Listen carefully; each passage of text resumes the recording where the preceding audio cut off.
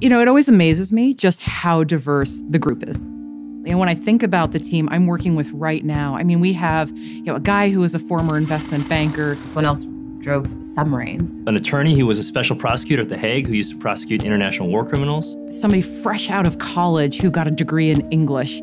Without that diversity, you wouldn't have any of the magic.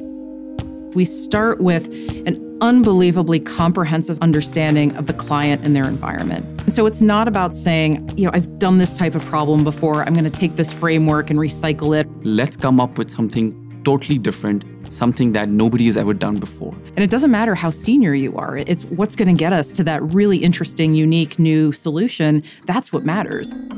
When you're working in such a high paced environment, you develop professionally at a much faster pace. You could, on your first day at BCG, be assigned to a project where you'll be dealing with or presenting the CEO of a Fortune 500 company.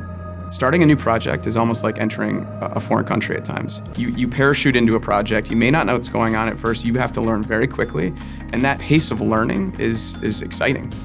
When I first got started with BCG, I had never negotiated a commercial contract before. Fast forward a couple years, and I'm essentially serving as the VP of Business Development for this startup called Orbitz. Fast forward a couple more years after that, Orbitz has gone public for $1.4 billion, and I'm quitting to go start another online travel site, Kayak. Once you have that tool set, you know, sky's the limit on what you can achieve. And that's why so many BCG employees and former consultants are successful in other industries.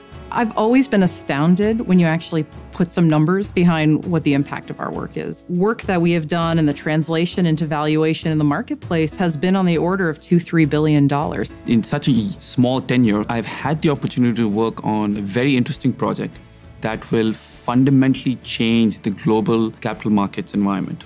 You know, I probably will tell my grandkids about it this is where it goes from kind of an academic intellectual exercise to something absolutely exceptional.